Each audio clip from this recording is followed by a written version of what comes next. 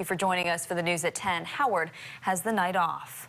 Well, COVID cases are on the rise, and so are the cases among children. The state is seeing a steep increase in pediatric infections in the last week. Max Rodriguez spoke with a pediatrician about the signs parents should look out for in a story that's new at 10.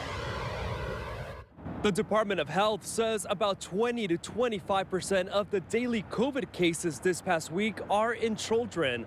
A pediatrician says parents should be extra careful when making social plans, especially if their keiki are not yet eligible for the vaccine. This graph from the Department of Health shows the dramatic spike in cases among children under 17 years old, averaging 91 cases during the last week of July.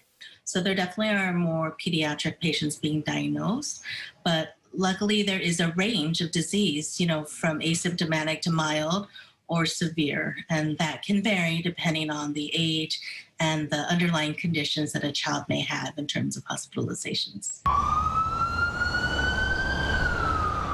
Dr. Natasha Ching says more children are being treated for COVID than before. I can't speak to the exact number right now, but we know that we have seen some young children and some older children that have been hospitalized. Um, I don't think our trend is as high as we have heard about in some of the southern states, you know, within our nation. Um, but they're definitely, um, from the pediatric colleagues that have been in touch with, that there are definitely more pediatric patients hospitalized. Like in adults, symptoms and severity of illness still depends on the child's age and underlying medical conditions. Symptoms to look out for include cough, nasal congestion, sore throat, fever, nausea, vomit, and diarrhea.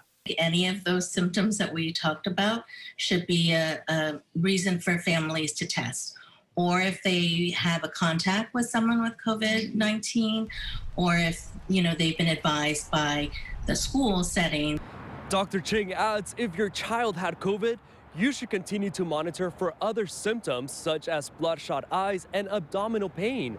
These could be signs of a rare but severe illness called multi-inflammatory syndrome in children triggered by COVID. Dr. Ching says there's been about a dozen cases in the state so far. Max Rodriguez, KHON2 News, working for Hawaii.